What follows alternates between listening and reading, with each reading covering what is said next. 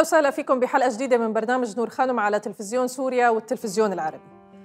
استثنائيا بهي الحلقة رح تكون مقدمتنا مختلفة، الأسبوع الماضي انفجعنا برحيل الفنانة السورية مي سكاف. أنا واللي بجيلي نعرف مي بدور تيمة بمسلسل العبابيد، البنت المتمردة اللي ما بتعمل إلا اللي براسها. لا أدري لماذا أنت مغتاظة مني فأنا لست السبب في صغر سنك يا صغيرة ماذا تريدين بعد؟ لماذا أنت واقفة أمامي هكذا؟ ولكنك وصفتها قبلي بأنها طفلة أنا وأنت على جواد واحد. لن تفرح بذلك ولو قطعت ذراعك. هيا اغربا عن وجهي. ستنال مني الكثير جزاء وشايتها الكاذبة. مي تركتنا بأكثر لحظات الثورة سواد. لحتى كثير منا فكروا إنه خلص الثورة انتهت من كثر الانتكاسات والخذلان اللي عم نتعرض له. لهيك وكأنه رحيل مي كان مثل الجرس لينبهنا إنه لسه في ثورة ولسه الثورة موجودة ولسه فينا نفس لحتى نكمل اللي بديناه. وقت نوصل وقتها بس نبكي على مي. بس بهداك الوقت رح تكون دموعنا دموع فرح. الشعب السوري شعب معتدل. شعب بيحب الكرامة وبيحب الحياة وبيحب الغناء وبيحب المظاهرات وبيحب ال ال ال ال ال السلمية. ميز كف يا صوت الحق وسكت وقالت لا حزبة سوريا شعبها مضحي صد الأسدية. وسأظل أدافع عن سوريا العظيمة وليست سوريا بشار الأسد. هذا الشعب السوري حاجته ذل المؤسسة العسكرية للشعب المؤسسة الإعلامية للشعب وزارات الدولة للشعب مو لبيت الأسد. هي الثورة ثورتي لحتى موت.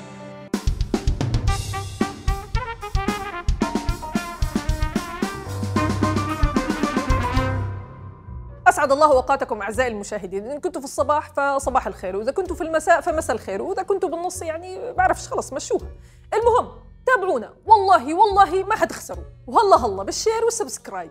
بسم الله الرحمن الرحيم سيداتي سادتي أسعد الله أوقاتكم أينما كنتم واهلا وسهلا بكم في هذا اللقاء الأسبوعي المتجدد وطابت أوقاتكم أينما كنتم. الله يمسيكم بالخير إذا كان الوقت مساء والله يصبحكم بالخير إذا كان الوقت صباحا. وما تنسونا تابعونا في الإجازة والله ما حتندموا. أيوة هذا هو القرابة في ناس سألتني ليش بتنادي له القرابة يعني هو الصراحة مش أنا اللي بنادي له القرابة هو مصر إنه يكون قرابتنا.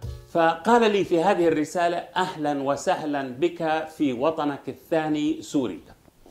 فرددت عليه برسالة قلت له يا أخي مش وطني السوري مش وطني الثاني هذه وطني الأول. أنا شخصيا من المحبين لسوريا ومن المحبين للشعب السوري وأعتبر نفسي جزءا من هذا الشعب.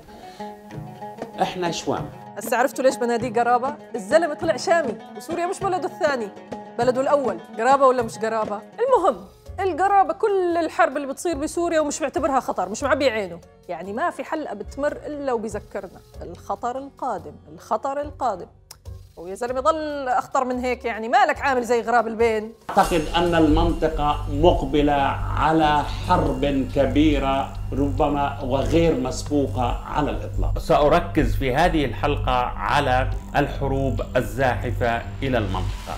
الآن ال- ال- ال- البورصات الخليجية بتتراجع. الآن أسعار ال- العقارات في الخليج بتتراجع بشكل متسارع. هناك كثير من المحلات بتسكر وفي تقارير مهمة جدا في هذا الإطار. هذا دليل إنه في خطر القادم على المنطقة، يعني لما كنا بالأول نقول لكم يا أخي والله في حرب جاية، مش بس في سوريا ولا في ليبيا، يعني بقول لك يا أخي أنت إيش بتحكي عن الحروب؟ أنت صرت زي غراب البين لازم تخرب حتى تعمر. أنا بآمن بهذا المثل. يا ولي يا غرابة عفوا يا قرابة مالك؟ بس يعني يا قرابة ما حددت. أي دولة بالذات لازم تدير بالها يعني حتى تارك أشغالك وأعمالك وشاميتك وجاي تحذرنا. بدهم يفجروا حرب وضد مين هذه المرة؟ ضد إيران. هذه المشكلة. الآن ال- الإدارة الأمريكية تستعد لمنع إيران من تصدير برميل نفط واحد. يعني هذا تجويع لإيران وشعب إيران. اصحوا على حالكم. الآن المس- مسألة خطيرة جدا. مش من مصلحتنا أنه إيران تحاصر.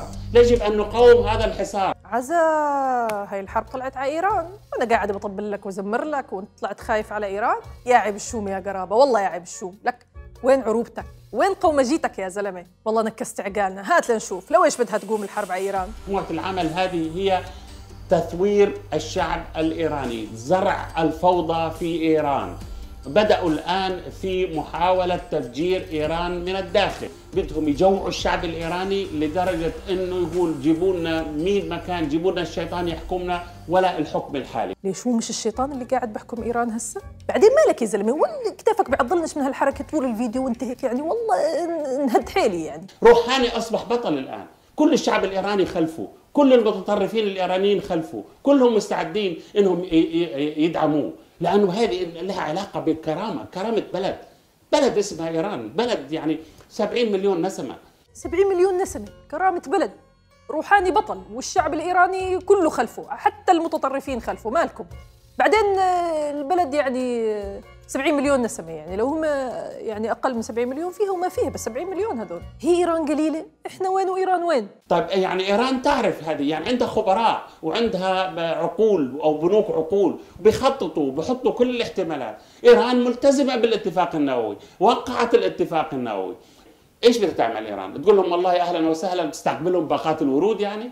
وترحب فيهم وترقص دبكة وترقص آه، يعني على واحدة ونص استقبالا لهالمشروع الأمريكي. والله هذا اللي كان ناقص يعني ترقص آه، دبكة أو على واحدة ونص. ليش مين فينا برقص لما تيجي أمريكا يعني؟ لشو بتلمح؟ والمالك يا زلمة بتدافع عن إيران أكثر من إيران نفسها يعني. شو خ- خايفة بالآخر تطلع طهراني مش شامي. بعدين تعال هون قرابة يعني شو سر حبك لإيران؟ يعني شو بيدعموك أكثر من العرب؟ بيمولوا لك قناتك على اليوتيوب؟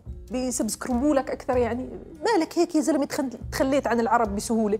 ومن المؤسف إنه في دول عربية ابدا دناديل ما ط- اشتركوا في الحصار بيشتركوا بالحصار. طب أنتوا عارفين إيش بده يصير لكم إذا اشتركتوا في هالحصار؟ أنتوا عارفين إيش بده يصير لكم إذا انفجرت الحرب؟ أنتوا عارفين إيش بتصير لكم إذا قررت إيران الانتقام؟ هذه المشكلة مش عارفين. وشو بدك تقول يا قرابة؟ دناديل يعني طعوا قايمة قالوا لهم حصار قاموا الشباب حاصروا. ولكم مش خايفين إيران تنتقم منكم؟ والله يا قرابة احكي لهم. يعني خلص الجماعة جاهلين وما بيعرفوا. وعيهم احكي لهم شو مستنيهم من إيران. إيران ما عندهاش مزبوط آه، أساطيل ولا عندها يعني سلاح جو لأنه منعوا عليها. لكن عندها عندها زوارق سريعة جدا. هذه الزوارق لا ترصدها. ال ال ال ال الرادارات ممكن تحطم الأساطيل وتدمرها. وعندها أيضا هذه الزوارق ممكن تحطم محطات التحلية. 80% من مياه الخليج بتيجي من محطات التحلية. إذا إيران ضربت هذه المحطات والله لا يموتوا من العطش. والله لا تموتوا من العطش. يعني انضربت محطات التحلية يعني شو بتعملوا؟ يعني صح إيران فيش عندها أساطيل وصح إنه سلاح الجو مانعينه عنها بس مالنا يا جماعة؟ نسينا الزوارق السريعة مالنا؟ هاي الزوارق اللي بتمر من الرادارات يعني والله انضربت محطات التحلية لتشربوا مي مالحة يعني هيك منيح آخرتكم تشربوا من مية البحر. يعني إيران بدها تنتقم. ولا فاكرين بدها تقعد تتفرج عليكم إنه إيران عندها صواريخ وإيران عندها زوارق سريعة وإيران عندها أيضا سفن وإيران عندها حزب الله. إحنا نسينا حزب الله؟ 150 ألف صاروخ عنده السيد حسن نصر الله. هذه تحت عمامته في 150 ألف صاروخ. وين بدها تروح هاي؟ يعني أقول لك وين بدها تروح يا قرابة وما بتزعل يعني بتروح على سوريا يعني وين بدها تروح؟ ولكم حسن نصر الله إذا رفع عمامته طلع تحتها 150 ألف صاروخ يعني. جير الله ما يشلح عباته لما يضل فيكم واحد يشرب من مية البحر. مالكم؟ والله طلع معك حق. ترى هي شغلة كبيرة يعني مشان هيك تارك أشغالك وجريدتك وحتى مشغول عن الموضوع السوري. لايران يعني يعني شيء مختلف كليا. في شعوب تحترم نفسها في قيادات بتحترم شعوبها. يعني مدير مكتب حسن روحاني الرئيس الإيراني حسن روحاني كشف قبل يومين بأن ترامب طلب ثمان مرات ثمان مرات يلتقي بروحاني على هامش اجتماعات الجمعية العامة للأمم المتحدة وروحاني رفض. هذا يا مرحوم الوالدين بيقول لك آه، ترامب رفع السماعة روحاني و ثمان مسكولات ثمان مسكولات وما كان يرد عليه. التاسعة يم سكر السماعة بوجهه. يعني هذا اللي شايفينه أسد بيقلب أرنب مع روحاني. لا أخرى بيقلب فار مع غير روحاني. ترامب هذا اللي بي بي بيهدد في العرب وبيحلب فيهم وبيفرض عليهم إملاءاته. والله كان جالس مثل التلميذ الذليل أمام أستاذه في آه، هذه القمة. أحدث المعلومات تقول بأن الرئيس ترامب ابدا يعني رمى الفوطة رفع الراية البيضاء. بصم فلاديمير بوتين بكل شيء وخاصة في سوريا. ترامب حقيقة بين زي المضبوع. عارفين كيف المضبوع؟ إحنا عندنا ببلاندا بقول لك هذا فلان مضبوع. يب ضبعوا بوتين. كيف ضبعوا؟ ما بعرف. يب مضبوع. يعني ضبعوه الروس. بس كيف ضبعوه؟ والله ما بعرف. أنا في تقديري الروس هذول ملاعين. أنا ربما مسجلوا لترامب يعني أفلام وفيديوهات تصور في أوضاع مخلة وربما أيضا يعني عندهم أدلة على ممارسته لغسيل الأموال ولابد أن بوتين يعني وضعها على البلاطة عليه إنه هي إذا بتلعب بذيلك بنعرف كيف نتعامل معك تمارس غسيل أموال معليش أما تلعب بذيلك نقطعه. ملاعين الروس. بس تعرف يا قرابة الروس صاحبهم صاحب. زقرتويه لما يحبوا الواحد بيحاربوا العالم كله. عشان مش زي المضبوع صاحبنا عند أول مطب بيتراجع وخاصة في سوريا.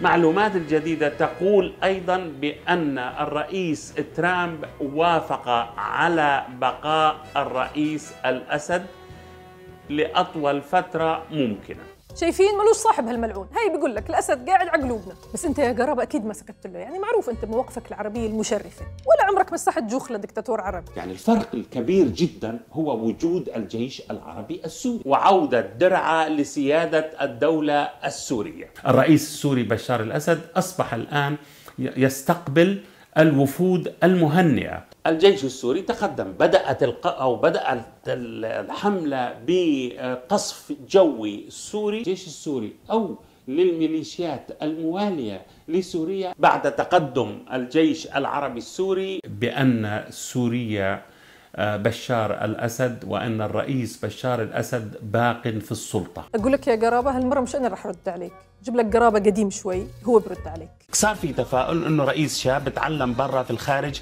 آه، عاد آه، مسك الحكم ربما يغير، لكن لم يغير، لم يغير على الإطلاق، بالعكس نعم. زاد القمع وزاد الفساد وزاد انتهاك الحرمات وزاد التغول الأمني، العصابات الأمنية. والله يا على قولات ستي اللي ما بيعرف البلوط بيقول عنه كستنة.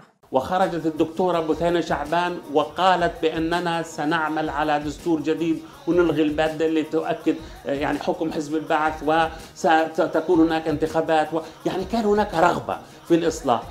تدريجي شوي شوي يعني إحنا يعني بدنا بدنا يعني آه، ناكل عنب ولا نقتل الناطور؟ لماذا لم يدرسوا تعديل الدستور لما تولى الرئيس بشار الأسد السلطة؟ لماذا عدل الدستور في ربع ساعة بينما قانون الطوارئ يحتاج إلى إلى آه، شهرين وثلاثة وأربعة وخمسه دراسات؟ أكتفي بهذا القدر وأقول أجاك يا بلوط مين يعرفك، والله أجاك يا بلوط مين يعرفك. والسلام عليكم ورحمة الله وبركاته.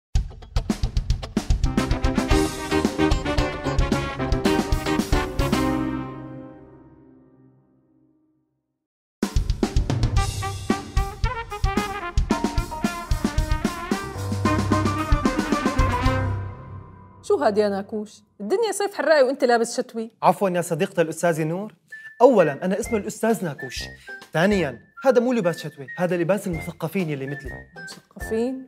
من وين هبطت عليك هالثقافة؟ من وين هبطت يعني من الطيارة أسقاط مظلة من وين تهبط يعني؟ لك انطلاقا من قول الوالد المؤسس إني أرى في الثقافة حياة فإن الحياة ما زبطت معك شو هاي ما زبطت؟ شو؟ والدكم المؤسس بيقول إنه يرى في الرياضة حياة شو هالحكي؟ معقول أنا مخربط؟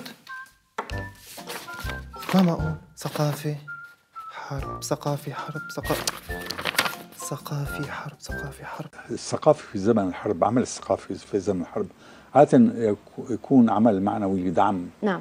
لدعم الشعب ودعم المقاتلين الذين يقاتلون ضد العدو الذي يهاجمنا.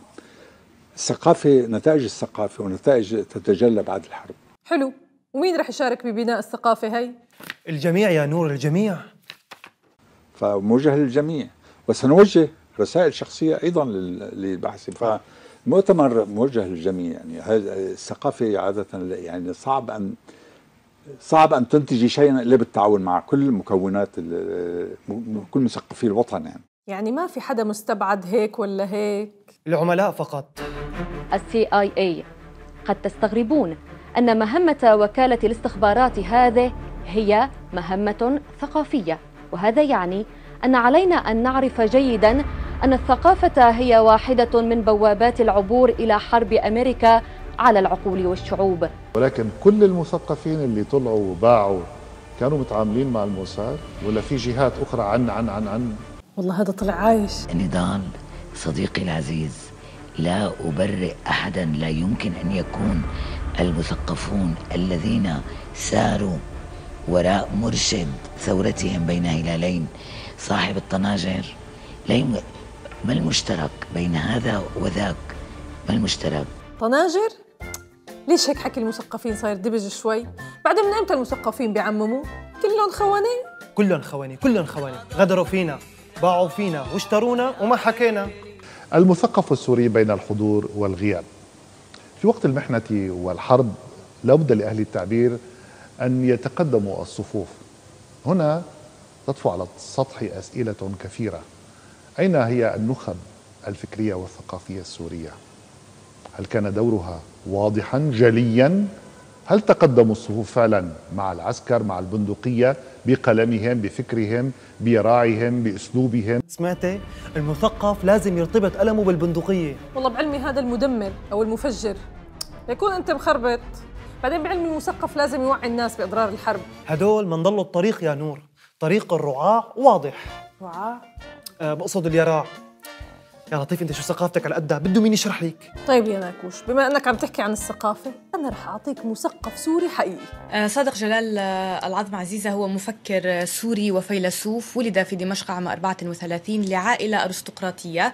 والده جلال العظم كان من متنوري سوريا وجده كان واليا عند السلطان عبد الحميد إبان الفترة العثمانية. على الرغم من الإرث الشخصي الذي ورثه صادق جلال العظم إلا أنه لم يتغنى أبدا بأمجاد عائلته عاش متواضعا مكرسا حياته للإنتاج الفكري والنقدي. انشغل صادق جلال العظم بالشأن العام وكلفه ذلك الكثير خاصة عندما انحاز إلى ثورة الشعب في سوريا. ضلوا الطريق طريق اليراع واضح. كلهم ضاعوا وضللوا وضلوا هل تتذكر الكاتبة التي أصبحت فيما بعد آه، من كثرة هيامة بثورة الدوما مثلا آه، ثم أصبحت مشاءة كانوا يعلمون أن الأدب هو للمستقبل هو يبقى شهادة. لذلك رأينا الكويتبات ترجمت أعمالهن إلى سبع لغات. وتسابقت دور النشر على ليش على- غيرانة منهم أنت طيب؟ والله. طيب أنا إنسان. وما حدا عم ما حدا عم آه، يعبرني. لا لا على سلامتك نحن نحن بنحترمك وبنقدرك واضح. الغيرة عم تنقط تنقيط من عيونك. غيري لك هذا ظلم. ظلم. لك يلي عرفت طريق اليراع ما حدا عبرها. وهدوليك يلي باعوا اقلامهم بظروف مختومه ترجموهم لسبع لغات. وفي منهم بالحمصه كمان. إيه سبعة بيطلعوا هؤلاء أصبحوا يصطفون بالدور ينتظرون مظاريف صغيرة. آه، ستقضي أولا وأنت تتذكر أول صيحة صاحوها على المزابل لا دراسة ولا تدريس. آه، وكمالة ال- يعني كان إغلاق ال- دور العلم. دور العلم. على المزابل شو هالثقافة؟ بعدين ناكوش؟ ليش ما كملت ال... لا دراسة ولا تدريس حتى يسقط الرئيس؟ شفت شلون مشكلتنا مع الرئيس يعني؟ مع النظام مو مع البلد ما لنا خوانة عفوا لا تغلطي وتلفي وتدوري بالدوخة. الدوخة صحيح ولكن هناك ظاهرة تحيرني نضال بعض الأدباء الذين لم ينبسوا لديهم موقف مع, مع, مع الوطن. لا أقول مع الدولة. أنا لا أفرق بين الدولة والوطن على الإطلاق. والله أنا عجزت. مشان الله خبرونا. شو الثقافة اللي بدكم إياها؟ هي الثقافة التي كلنا نريدها يا نور كلنا. مع بعض يعني. ونحن يعني دائما الثقافة السورية متواجدة في الجمهورية الإسلامية الإيرانية مثلما الثقافة الإيرانية موجودة في الجمهورية العربية السورية. لك يلعوا قلبك لعيت قلبي. قول من الأول بتكون ثقافة المرشد الأعلى قصدي المقاومة طبعا المقاومة. لذلك حققنا انتصارات جديدة. وريدة انتصارات سمعاني شو عم تحكي؟ ولا شيء. حتى الثقافة بدكم تنتصروا عليها. لا على فيرويد. فيرويد؟ إيه فورويد هذا تبع هذا الصاية تبع علم النفس. فرويد. والله؟ يا مثقف. نفس الشيء. أريد أن أقول أجمل ما قرأت وأهم ما قرأت عن الحرب السورية أن هذه الحرب هزمت علم النفس. منذ تأسيسه إلى اليوم. كل ما اكتشفه فرويد ومن تلاه من أدلر ومن ما شئت حتى إريك فروم آه، وكل من دخل في التحليل النفسي هزم أمام هذه الحرب. حتى هدول ما سلموا منكم وانتصرتوا عليهم؟ بس بتعرفي يا نور في شيء ما عم بفهم. ما عم بفهم. إنه الموضوع حقيقة موجع جدا. أنا كثير انصعقت ويعني انه إنه في عالم كنت أحفظ لهم هيك جمل وإنه شوف حالي إنه أنا بحاورهم أو تصور معهم. بعدين راحوا على مطرح كثير بشع. طيب كان بيستاهل هذا الموضوع؟ ما ناقصكم لا مال ولا جاه ولا سلطة ولا ولا ولا. ليه؟ قال لك شو ناقصهم وما تزعل؟ لا طبعا ما بزعل نحن بنتقبل الرأي الآخر. أنا نفسي أفهم شو ناقصنا. نحن مثقفين الأب القائد شو ناقصنا؟ كرامة! مو ناقصنا إلا شوية كرامة يا ناكوش كرامة؟ ما حتلاقيها هون لا تعذب حالك. دفتر الأب المؤسس قائد الخالد. لا تحكي على دفتري. كأنه شو شو؟ لبس المثقفين اللي لابسه. جيبوا له جيبوا له قهوة يحتسيها. بدي أشربها شرب. استشفى ارتشاف أحسن. لا شرب.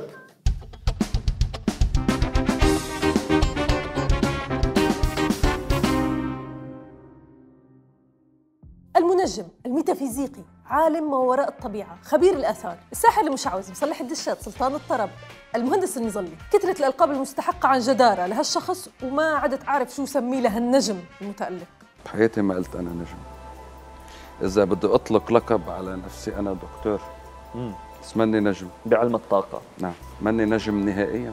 يا سيدي دكتور دكتور الطاقة وشباك ومنور المطبخ. مايك فغالي مين فينا ما بيعرفه أو سمع فيه؟ هو على فكرة سمعان فينا كلنا. الشخص الوحيد على الأرض اللي بيشيل الغسيل من على البلكون قبل ما تمطر بكذا ساعة. ليش؟ لأنه بيعلم بالغيب وكل شيء قبل بوقت بيعرف إمتى رح تمطر وبيعرف إمتى بيعملوا تنزيلات عند أبو القمصان ودايما توقعاته بتصدم الجميع بدقتها. حركة كبيرة كتير بتكون تقشع أكثر من شركة طيران سورية وأسطول طيران جديد يعود إلى الواجهة. طيب. أكثر من شركة وأسطول طيران. إيه نحن طول عمرنا عندنا طيارتين وحدة بتطير بالأسبوع مرة ووحدة عملوها مطعم بالشام. نلنا الأساطيل. فعلا توقعاته بتصدم الجميع بدقتها.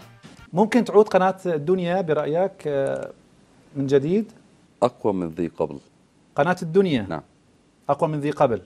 على صعيد عالمي مش على صعيد سوري بس. هلأ هي فعلا بتصدم الجميع بس ما أظن بدقتها. يعرف كل شيء هالمايك. زي ما قلت لكم. ليش عم نجيب سيرته هلأ؟ ليش؟ صحيح. أنتم مالكم مايك لا تعرفوا. المهم جاي يلقي محاضرة عنا بالشام. الصمود السوري نموذج. عنوان لمحاضرة كان من المفترض أن يلقيها مايك فغالي الدكتور في علم الطاقة في الحادي والعشرين من الحالي في قاعة المحاضرات التابعة للمركز الثقافي العربي في دمشق وذلك بدعوة من وزارة الثقافة ومديرية الثقافة والمركز الثقافي العربي وفق ما جاء في الدعوة. كان من المفترض أنا جهزت حالي لاحضر المحاضرة. التغت يا ريتني كنت منجم لا أعرف. بتفاجأ آه الخميس بالليل بتتصل فيي إنه فينا نأجل المحاضرة قلت لها لا دغري بالغية ليه شو في الموضوع صار في بلبلة والوزارة طلبت نأجلها. قلت لها لا خلص بنوقفها على الآخر. عادي شكله هو كمان ما له خبر. شكل المحاضرة كانت سرية كتير وخبروا بس الناس اللي كتير معنيين. آه عرفت إنه الوزارة ما معها خبر. طلع بيان من الوزارة. فاتصلت بمدير الثقافة أنا الأستاذ أيمن ياسين. استغرب إنه ليش وقفت المحاضرة؟ يعني بطل حدا عارف شو عم بيصير. في مطرح غلط. يا بالوزارة يا عند السيدة رباب إذا أنا ما عندي خبر وأنتو ما عندكم خبر والنجم الدكتور كمان ما عنده خبر وزير الثقافة ما عنده خبر. أصلا وزير الثقافة ما بيعرف إنه في محاضرة. مين ضل؟ ما في غير السيدة رباب وزير الثقافة أحد إذا هو مش ماضي هذا المرسوم تا- لإقامة هيدي المحاضرة. في حدا استعمل أمضاء تبعته لمديرة المركز وإلا مديرة المركز تكذب. دخلك ليش ما أعلموك؟ خلوك تتفاجئ شو ما بيعرفوا أهمية هالمحاضرة بالنسبة للوطن؟ دخلك عن شو كانت هالمحاضرة سيادة النجم الدكتور مايك؟ وأنا طالع أحكي عن شو هي هالطاقة الغريبة اللي خلت الصمود واقف بسوريا وخلت الجيش ما يتفكك. بصفتي مواطن عربي بحب سوريا أكثر ما أولاد سوريا بحبوها. الطاقه اللي ما خلت الجيش يتفكك الطاقه الروسية ولا الطاقه الإيرانية ولا الطاقه الكيماوية ولا طاقة السارين. احتمالات كثيره على كل أنا بقول ما لازم يلغوا هيك محاضرة. يعني مواقفك المشرفة بتكهنك بعودة الطيران وبقاء الأساطيل ونهضة قناة الدنيا وارتقاء للعالمية وغيره. يعني واحد مثلك لازم يعملوا له تمثال بسوريا. هلا انفهم الموضوع. تنصل الوزارة من هذا الموضوع. يعني الوزارة تنصلت من مقابلة مع الأستاذ ناصر أنديل ومع الإعلامية انجان ما بعرف شو بدهم يعملوا. أكلوكن لحم ورموكن عظم. شايف؟ استغلوا طاقة التنجيم تبعك لحتى ينتصروا. بس خلصوا لغوا لك المحاضرة. مو بس أنت كل المقاومين الشرفاء. الوزير تنصل ورباب كذبت. بس معلش أنت عمال بأصلك وكبه البحر. وخلي قلبك كبير على هالسوريين مثل عادتك طبعا. لأنه أنت أصلا سوري أكثر من السوريين. وهيك قلت؟ عم بقول لك أنا لو ما فيها المليون ونص نازح عم بيستعملوا كذا كيلووات من الكهرباء يعني لو ما كان في عندنا كهرباء كتير منيحة كان المفروض نقعد نحن على العتم. هلا السوريين صاروا سبب العتمة بلبنان على أساس طول عمرها كانت مضوية بدون السوريين، دخلك هدول كمان مين اللي هجرهم على لبنان؟ ليكون السيدة رباب، خلونا نكمشها، نحل كل مشاكلنا بقى يا جماعة، أصلا هي سبب البلا، حدا بيعرف وينها؟ شو رأيك يا دكتور مايك؟ تلاقي لنا اياها استخدم يعني هيك أساليب الطاقة تبعك.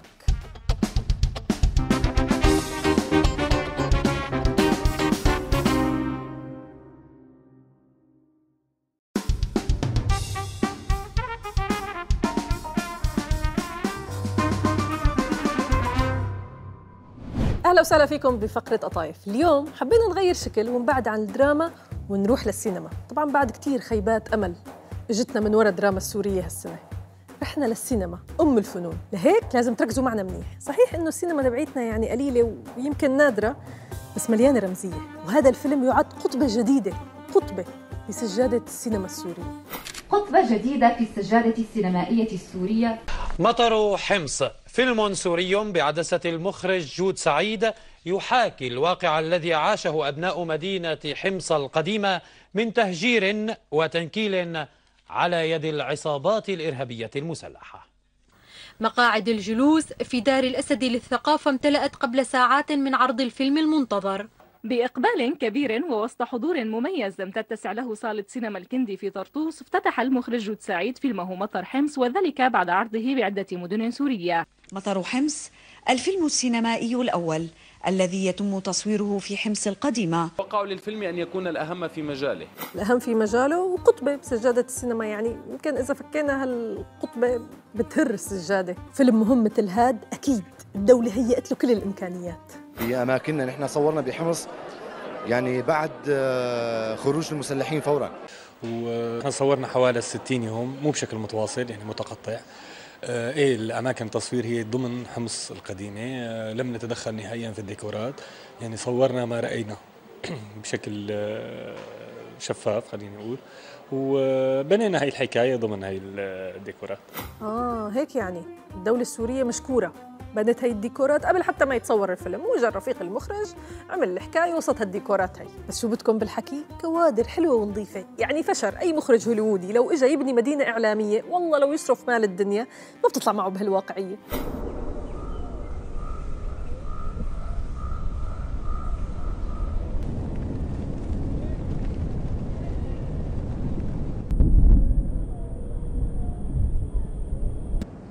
عم تمسخر؟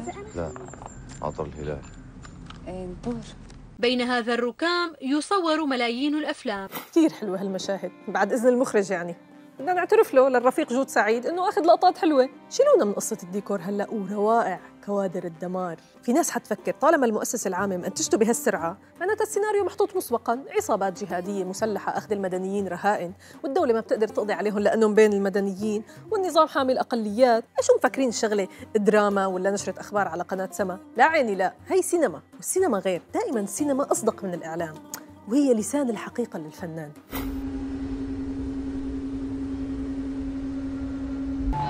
يا نصراني سيبدأ خروج الأذلاء في دخول الحصص الغذائية. الرجل بعشرة والمرأة بنصفها. يطيل الله عمرك قليلا أو يكون عمرك انتهى. وقدر الله وما شاء فعل. بس اللي مثلي خلاك تمشي بالطريق وتشوفي خيال شعراتك على الأرض. أبو بطيخ! بشرفي بشرفي إذا بتمس شعره من شعرات يوسف خالتك سبعة ونص بطاسة راسك فاتحة بيديها اللي مثلك يا ابو عبد الله بيجوا وبيروحوا واللي بيبقى هو على الأرض والله ما ناقص غير تقولوا لنا من أنتم وبدكم حرية سرقتوا شعاراتنا وعراعير وسواطير والثورة كلها متأسلمة واللي بده يعمل ثورة ببلش من حاله يعني المؤسسة العامة للسينما شو بدها تنتج؟ مين أنت؟ مينك أنت؟ من أنتم؟ شو بك؟ من أنتم؟ من أنتم؟ أنتوا حرامية على فكرة شو؟ أنتوا اسمكم حرامية شعارات أنتوا سرقتوا الشعارات ومشيتوا فيها بالطريق 60 سنة نحن نردد نفس الشعار هم؟ صحيح أنت شفتيهم لجماعتك تبعوت السواطير ما أحلاهم وجماعتي بألفوا أغاني كمان بالقتل جناكم بلا اتفاقية واحد سرسري حقه فرنك أمي جاهل. ماسك أربجيت ضرب محولة الكهرباء. التفت هيك ما لقى الكهرباء ببيته انقطعت. انزعج. طلع مظاهرة. بذمتك في شعب بينام أكثر من عشر ساعات خرجوا يعمل ربيع عربي لا ما في شعب بينام عشر ساعات بده يعمل ثورة. يعني اللي بيعمل ثورة معروف أصلا. في من الصبح سبعة الصبح بيردد الشعار بيشرب حليباته بيفرش أسنانه بحيي القائد وبينام الساعة 9 لا والله أنا برأيي أحسن نضل نايمين ورؤسائنا يحكمونا كمان 40 50 سنة. ونكون كلياتنا برعاية وإشراف الجهات المختصة والجيش الحنون العاطفي اللي بيغني لنا لحتى نحب وننام ونعشق. يا سلام على الحب يا سلام. يا أخي ما في أحلى من الحب. خليني شوف سيدي بمالي بيتنا ومدفينا الحنان ومدفينا الحنان ساسوكي! يا سيدي. حط لي الحب كله. تكرم من قبل الأوان نسيت اسمي كمان نسيته يا سلام. يعني مو ناقص غير تلبسهم زهري وملون للجيش العربي السوري وتحطهم بعد تليتابيز ببرامج الأطفال. قمة الرواء والحنان والحب أصلا يعني سنحاربهم بالحب. والله نحن شعوب ظالمة ومننام عشر ساعات. لك ضيعان فينا هيك جيش. كلاب نحن كلاب.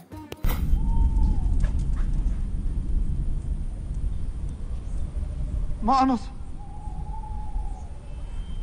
ما أنصه تركته يروح. لك أعتبرني كلب. اعتبرني كلب أنا كلب أنا كلب والله أنا كلب. عو عو عو عو عو. اعتبرني كلب يا ابن الكلب اتركني روح. اعتبرني كلب اعتبرني كلب يا ابن الكلب. كنتوا تعتبرونا أولاد كلب ولا تقوصونا وقت كنا نطلع مظاهرات ولا الكلاب ما بتتظاهر؟ لحظة. يمكن أنا فهمت الرمزية غلط؟ صحيح نسيت اخبركم يعني الفيلم رمزي وفيه هيك كتير رموز معقدة. يعني نحن المشاهدين العاديين البسطاء يعني يمكن ما نفهمها. هاي الياسمين يا حمصي طالعة من رديت يا السيارة.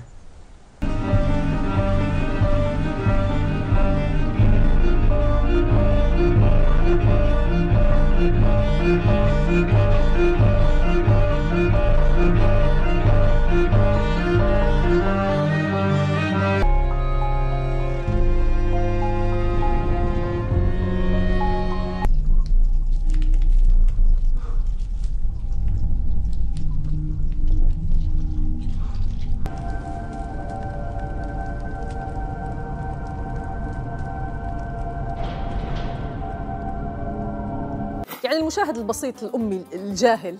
ليش لا يقعد يتفرج على هيك أفلام؟ يروح يتفرج على تيلي يعني قاعد ويضيع لي وقته على هيك قصص. هذا الفيلم موجه للمثقفين. هلأ نحن بعصر المثقفين. يعني مثقف صار يحمل سلاح ويدافع عن بلده ضد المؤامرة الكونية. أنا نهلة دكتورة بالكيمياء الحيوية. مدامته دكتور بالبحوث العلمية. مالك أستاذ باللغة العربية وشاعر. مصري وبشار مجانين من قبل الأزمة. العميد الركن طيار المتقاعد. جابر منصور من طياري حرب تشرين. بنتي ندى صيدلانية لا تفضل لكل فوق أو خليل منصور هذا قائد مجموعة بعرف. تشرين. يعني أنا بحياتي ما شفت فيلم بشجع المثقفين على الخطف وحمل السلاح. يعني طول عمرنا المثقفين دعاة السلمية. بعلم رسالة الفن خالدة والله يا ريتنا ضلينا على برنامج تضليل إعلامي. على الأقل كان مباشر لا في رموز ولا فك شفرات وتعقيد. بس ما فهمنا يعني هذا الفيلم مبني على قصة واقعية ولا كله خيال بخيال؟ وحكاية فيلمنا مطر حمص هي لم تحصل بس قد يكون جزء منها حصل أو بعض تفاصيلها حصلت. لأنه لا أنا ولا أنت ولا أي حدا تاني بيعرف شو حصل حقيقة بفترة هدول الثلاث شهور ضمن هي المدينة؟ لا أحد يعرف. ومن يعرف لم يتكلم حتى الآن. مثل ما مكتوب ببداية الفيلم بتدور بين شهر شباط وشهر آه، حزيران 2014 عفوا أيار 2014 آه، مستندة لأحداث جرت بهذيك الفترة آه، اللي الكل بيعرف شو صار. يعني هي الفترة اللي, فيها بعض المدنيين بقيوا بحمص كانوا اعدادهم قليلة جدا بحمص القديمة. فاستوحينا من حكاياهم حكاية. بنيت كسيناريو. هلا على الميادين ما حدا بيعرف شو اللي صار وعلى السورية الكل بيعرف شو صار. سيادة المخرج رسالك عبر. لك أنت أنت شو توجهاتك؟ وجهة النظر اللي عم تحكي عنها يعني وجهة نظرك ومن تمثل كأنها عم تحمل أو تؤول أنها وجهة نظر رسمية أو وجهة نظر نظام فبالتالي تقفل بوجه الأبواب. في شيء من الصحة؟ لا أظن أننا نحن كأفراد نعم. آه، قصر بأنه نكون موظفين آه، ثقافيين أبداً.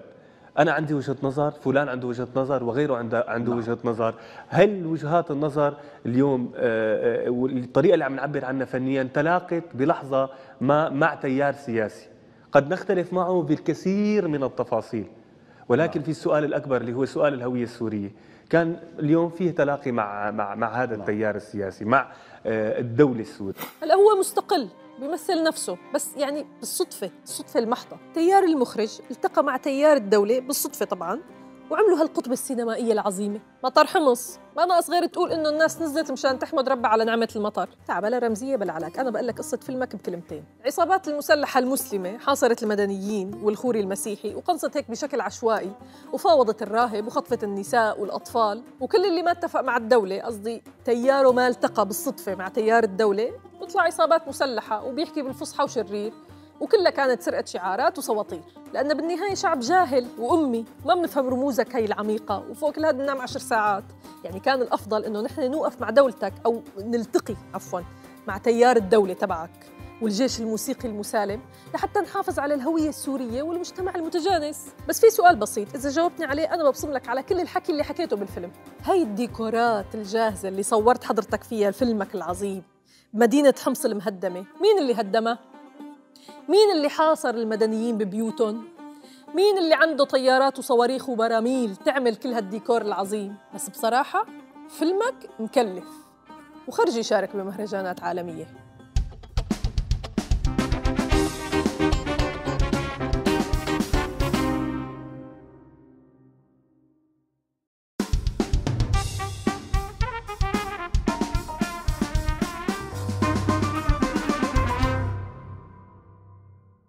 المخرج السينمائي ثائر موسى أهلا وسهلا فيك ضيف في برنامجنا. ميت هلا هلا بيك. آه، أستاذ أنت خريج المعهد العالي للسينما من بولند. تحكي لنا أكثر عنك. آه، طلعت أدرس في بولند لأنه ما في بسوريا آه، معهد عالي للسينما. بسوريا كان في شيء اسمه المعهد العالي للفنون المسرحية.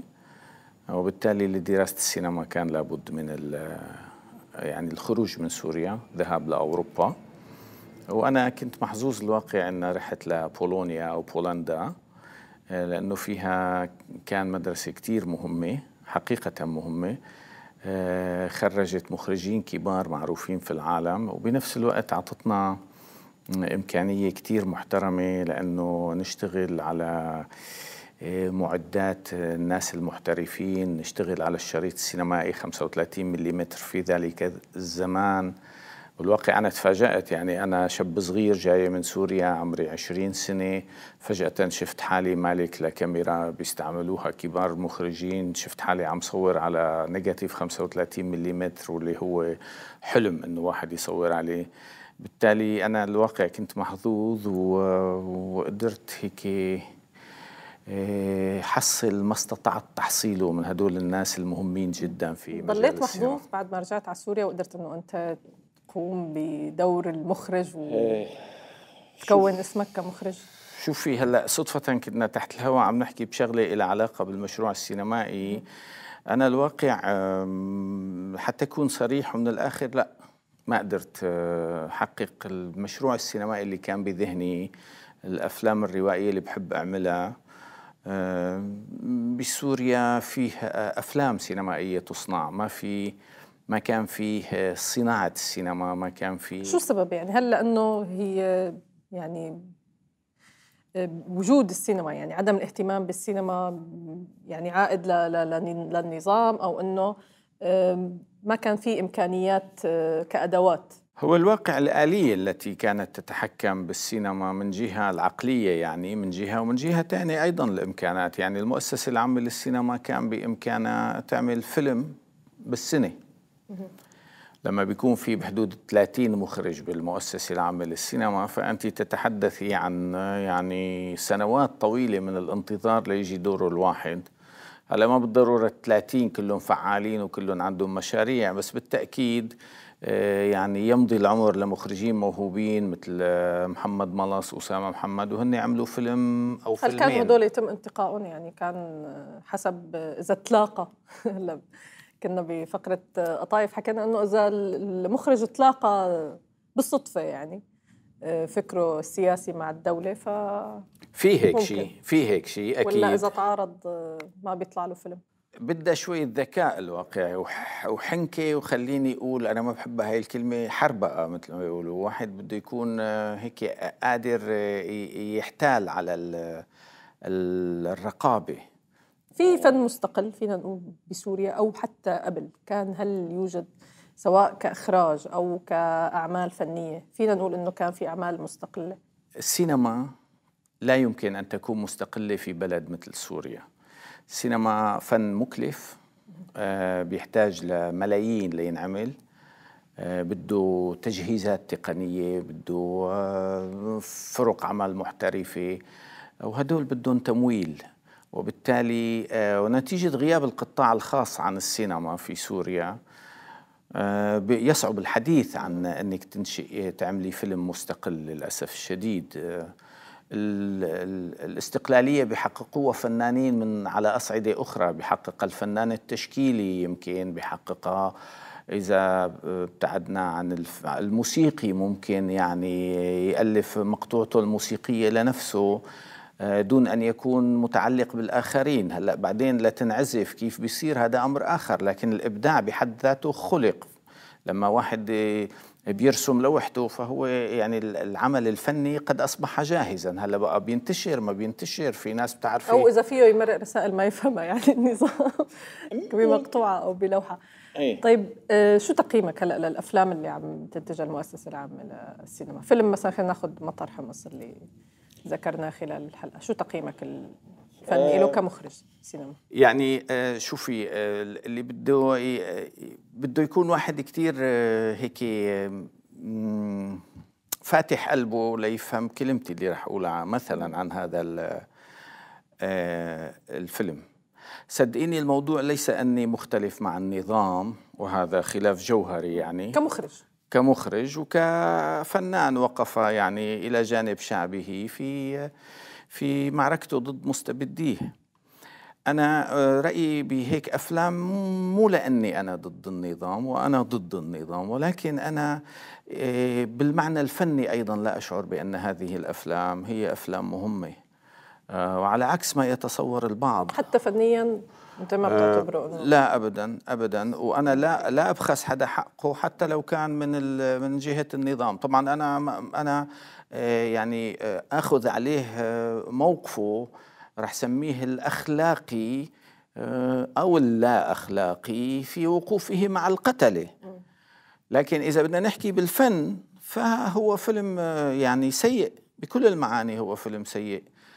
آه، ولولا ولولا هذا الاستغلال آه، ال- الخبيث الواقع لمشاهد الدمار اللي موجودة في حمص والتي دمرها النظام ببراميله وطائراته. لولا هذه المشهدية البصرية التي دفع ثمنها أرواح الناس السوريين لكان الفيلم بلا قيمة على الإطلاق يعني. ديكوره جاهز كان يعني ديكوره جاهز والرؤية البصرية ما بدها تعب على الإطلاق ويخيل لمن لا يعرف حمص وماذا حدث بأنه ما شاء الله هذا كتير big production ومتعوب عليه بينما هو الواقع أتى إلى مسرح الجريمة واستغل ال- الح- الحقيقة كي يلوي ذراعها للأسف الشديد. لكن هو سيناريو سيء هو هو أداء ممثلين سيء وبحب أقول لك يعني هيك مشان واحد يكون عادل إنه بطل العمل وبطلة العمل. هدول آه، طلاب أنا درستهم بالمعهد العالي للفنون المسرحية مادة السينما تحديدا. وهن ناس عن جد موهوبين وكانوا سيئين بالفيلم لأنه المخرج سيء ببساطة شديدة. وبرجع بقول لك عم بحكي بالسينما في هذه اللحظة ولا أتكلم في في موقفي الأخلاقي من هؤلاء الناس. قد إيه مهم موقف الفنان؟ من أي قضية أخلاقية؟ قد إيه بتعطيه بترفعه أو ممكن تنزله؟ إيه، الفنان بدنا نتعامل معه بهالحالة كإنسان. أنا برأيي آه، الضمير الإنساني آه، يحتم علينا أن نقف آه، إلى جانب الحق مع المظلوم ضد الظالم. وأنا ما عم يعني ما عم بخترع الدولاب من جديد. أنا برأيي هي أبسط القواعد الإنسانية التي يجب علينا أن نراعيها.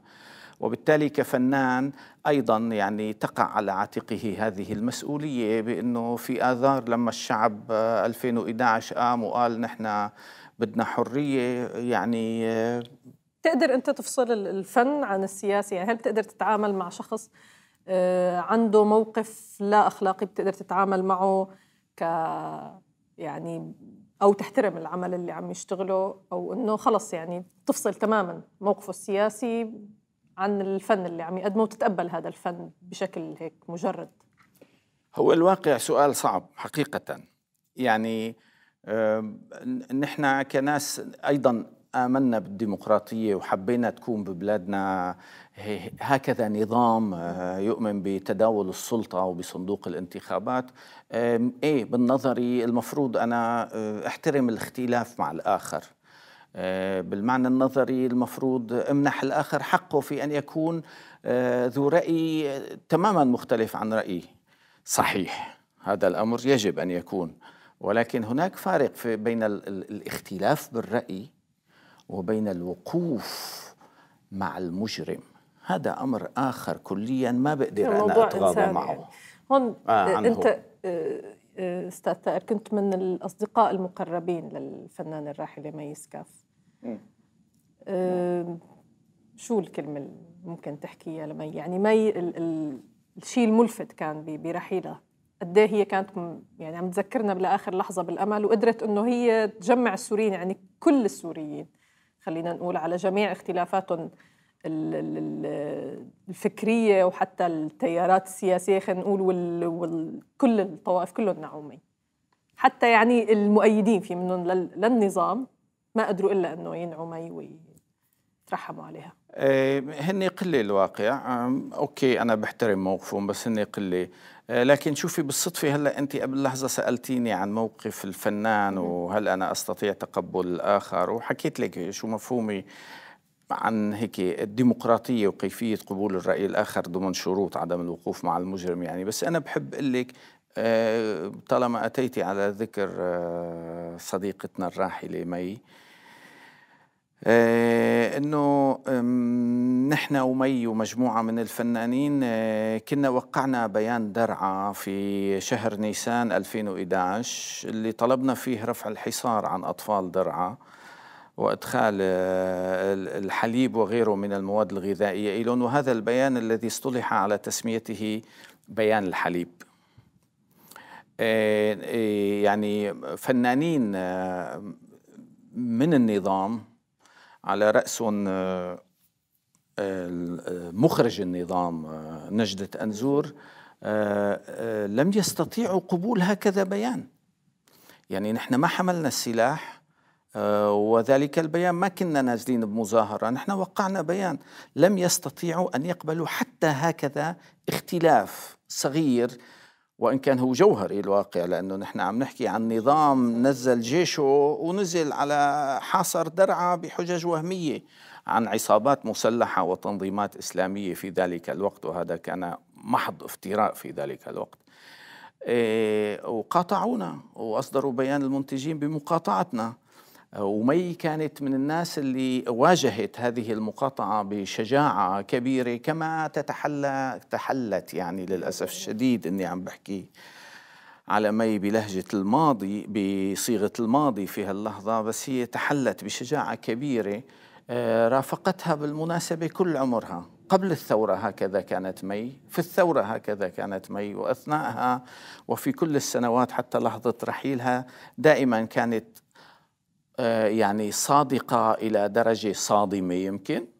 آه، وكثيرين ناس ما كانوا بيقدروا هيك يتحملوا هذا هذه الجرعة من ال- الصدامية إن صح التعبير في في الدفاع عن الحق في الدفاع عن ال- الناس اللي طلعوا كنا نشعر طالبوا بحقهم. مي وكأنه هي في أول يوم بالثورة. يعني لآخر لحظة لآخر بوست هي كتبته على الفيسبوك وكأنه هي تعيش يعني هي أول هيك. يوم في الثورة. هي هيك هي هيك هي ما على مي سكاف أنا كتير سعيدة باستضافتك. شكرا كتير لك تسلمي لي. مخرج السينمائي ثائر موسى شكرا الله لك. يخليك الله يخليك.